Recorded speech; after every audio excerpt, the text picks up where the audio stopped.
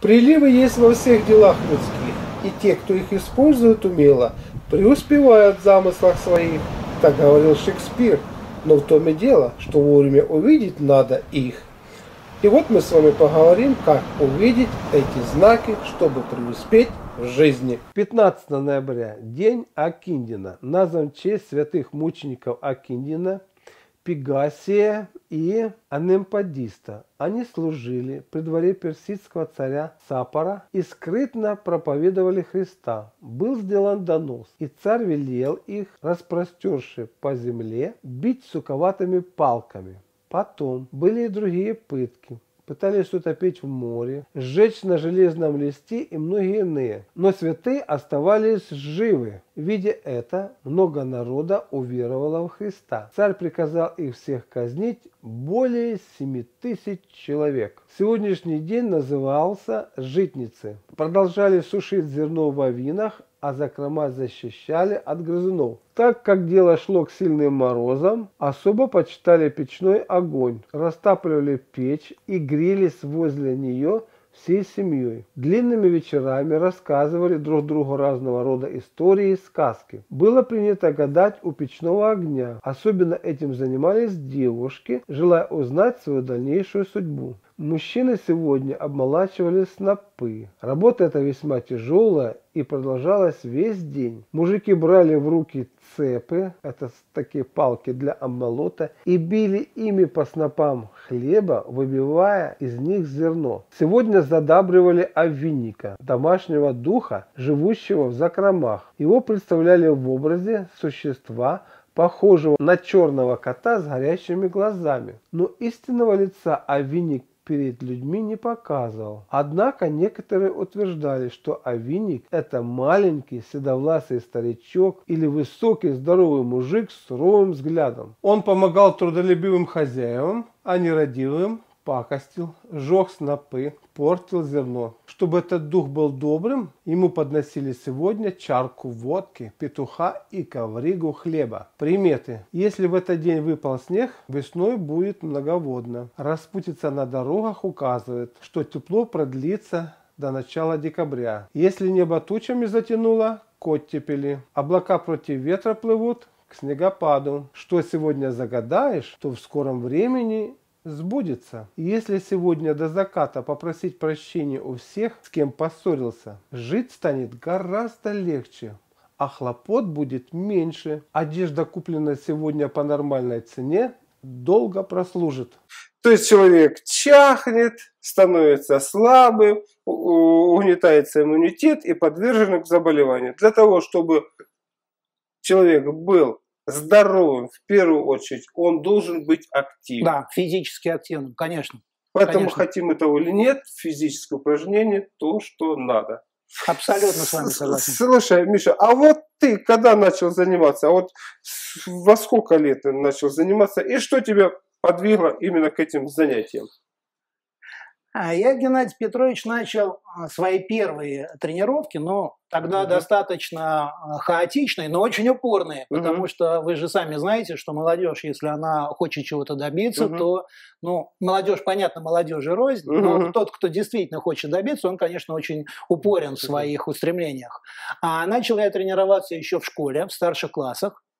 А тогда это же были еще времена СССР, когда не было доступа никакой информации. Ну, то есть мы вот, э, так сказать, внутри железного занавеса мы о каких-то вещах догадывались, какие-то мы предполагали, что это может быть. Журнал был «Спортивная жизнь России», в которых там комплексы печатали по атлетизму. Но это было уже чуть позже. Позже? Чуть позже, да. То есть я прекрасно помню «Спортивную жизнь России», угу. в советском спорте печатали угу. самые первые комплексы. Потом выходили, уже в дальнейшем были такие замечательные черно-белые брошюрки «Атлетизм». Угу. Они были переводные, их тогда а, впервые в нашей стране, ну еще же был СССР, они, если ну, не буду врать, не помню, какие это были года, но uh-huh. ну, понятно, что uh-huh. это были, конечно, а, конец 80-х. Но тогда их переводил легендарный, просто не побоюсь этого слова, в среде бодибилдеров Эдмундес Дауберас, это uh-huh. нынешний президент Всемирной Федерации фитнеса, и ну, просто был не то, что вот раритетом, uh-huh. а чем-то чуть ли не наверное, можно сказать, объектом поклонения среди культуристов, потому что там была информация, но по нашим, да, нынешним временам в общем-то, ничего там такого не было. А тогда, когда был сплошной информационный вакуум, ну, просто казалось чем-то невероятным, что, что вот сейчас, сейчас да, ты да? начнешь тренироваться по этим комплексам и очень быстро догонишь Арнольда Шварценеггера. Слушай, Миша, а вот э, с чем мы его будем э, кушать? Вот у нас, я вижу, болгарский Прекрасный выбор. Перчик. Сделаем его с тушеными вот такими овощами, очень вкусно. И как раз... Как порежем, раз, да? Да, да. Чуть-чуть порежем с вами. Добавим уже на сковородку, угу. чтобы мы имели в итоге такое вот готовое блюдо, уже которое можно есть, не просто да? Да, употреблять пищу, но которая уже вкусная, уже, так сказать, конечный продукт. Все конечный готово. продукт, полезно. Э, насколько я понимаю, все-таки одно мясо нежелательно употреблять, оно должно быть с овощами или вот э, ну, с какой-то там клетчаткой, пусть даже с теми крупами, которые дают вот эту вот э, способность организму ну, может, и переваривать, и очищаться. Потому что если только одно мясо, мясо, мясо, могут быть и запоры. Я так понимаю, да? Ну, вообще я хочу сказать, что э, все вот эти монодиеты, да, когда люди едят что-то вот одно, да, это же ну, антинаучно, если так объективно смотреть на вещи. Плюс это ну, угу. кому-то, естественно, нравится, кто-то угу. так питается в силу каких-то проблем со здоровьем или, допустим, угу. к тем же соревнованиям готовится. Но для абсолютного большинства людей, конечно же, вы абсолютно правы. Все-таки какой-то гарнир обязательно должен присутствовать. Обязательно. Ну, все, оставляем. Значит, для набора э, мышечной массы лучше всего использовать крупяной Да, да, безусловно. А когда подготовимся к соревнованиям или хотим вот подсушиться, хотим стать стройнее, уже овощной. Да, так и есть. Мясо остается, в смысле мясо нам дает белки, а вот жирки начинают уходить в процессе тренировки, как они разлагаются а овощи не дают. Они дают витамины, ферменты, чтобы все это быстро. Даже вкус просто дают. И вкус, естественно, дают. Все да, отлично. Абсолютно верно. Плюс, э, Геннадий Петрович, угу. мы с вами сегодня как раз уже, когда говорили про курицу, о том, что э, с точки то есть, зрения... что можно и курицу использовать, вот как мы говорили. Да, то вот э, в этом случае курица с какими-то овощами становится уже более предпочтительней, э, чем вот как мы сейчас готовим э, мясо угу. с тушеными овощами. Вон она как. Вот, вот это а, моя мама бы сейчас одобрила. Я думаю, что когда она будет смотреть э, эту программу, она получит большое удовольствие, потому что она очень любит вот такую зелень и, а, ну, ну, как бы отнесется с, с явным одобрением. Я вот дома, я скажу честно, я очень редко запах. использую. В первую а, очередь запах раз.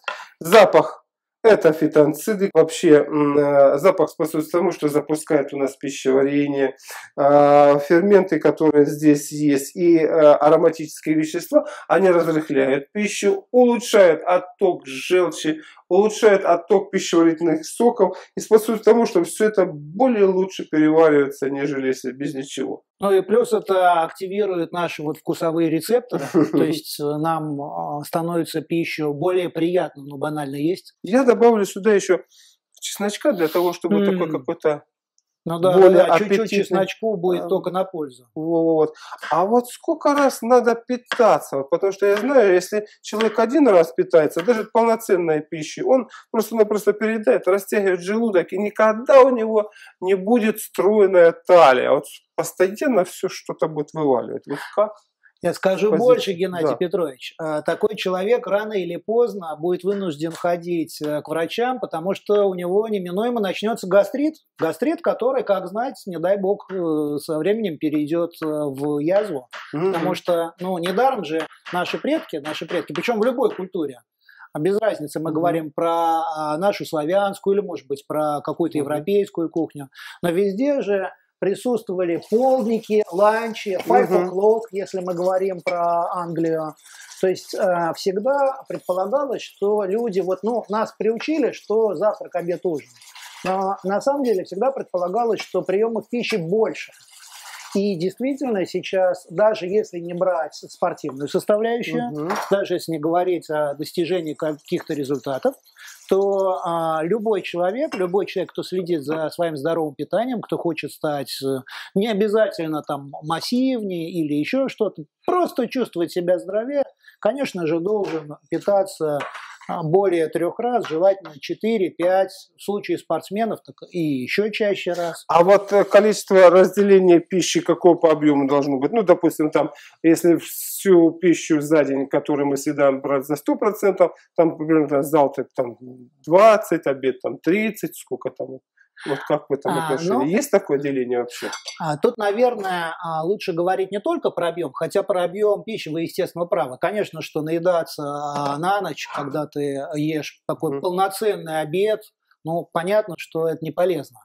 Но я бы сакцентировал внимание чуть на другом это на углеводной составляющей. Вот мы сейчас с вами как раз говорили угу. же про то, что вот э, рекомендуется овсянку есть на завтрак, о том, что если вы хотите набрать мышечную массу, то лучше добавить к мясу не тушеные овощи, а а, соответственно, рис или лучше, ну, зависит угу. от пристрастия гречку.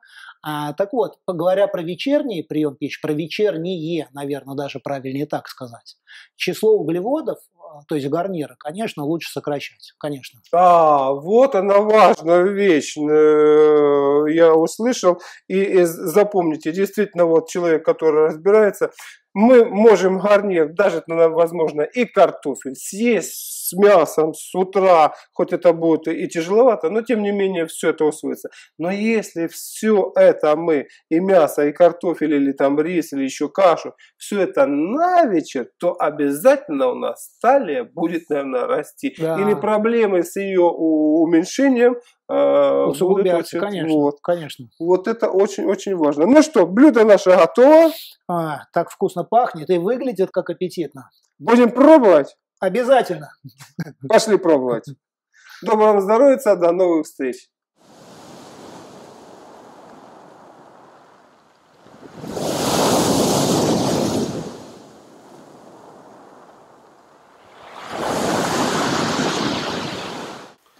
Девятнадцатые лунные сутки. Энергетика этих суток считается тяжелой, что выражается в склонности к легкому обольщению и склонности к порочным действиям. Именно поэтому символика этих лунных суток связана с пауком и паутиной. Сегодня важно думать, прежде чем что-то предпринимать. Избавьтесь от самообмана и гордыни. Хорошо попросить прощения. Активность организма сосредоточена в области поясницы и хребца. Можно самостоятельно размять эту область, стереть масло. Сегодня полезно посидеть у открытого огня и посмотреть на него. Огонь сжигает негатив. Питание должно быть обычным. Злоупотреблять специями не следует. Двигательная активность нормальная.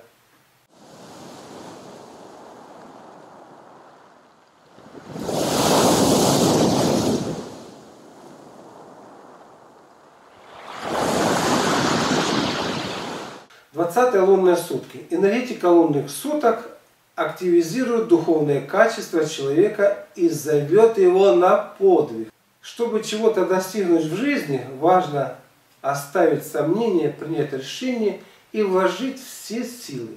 И тогда все подвластно человеку. Главное, чтобы по достижении поставленной цели человек не возгордился. Сегодня рекомендуется читать духовные и нравственные книги, которых описаны деяния святых, и брать с них пример. Есть рекомендация в этот день поголодать. Если это трудно, сделайте пищевую разгрузку на кисломолочных продуктах или просто на свежих салатах. А так как сегодня энергетически активен таз и бедра, то выполните упражнения, дающие нагрузку на них. Приседание либо ходьба на ягодицах. Благодарю за просмотр. Если вам понравилось видео, ставьте лайк, звоните в колокольчик и подпишитесь на канал. Ваше участие развивает канал и способствует его продвижению. Вы можете посетить бесплатно мою авторскую библиотеку на сайте Малахов Про. доброго здоровья и до новых встреч!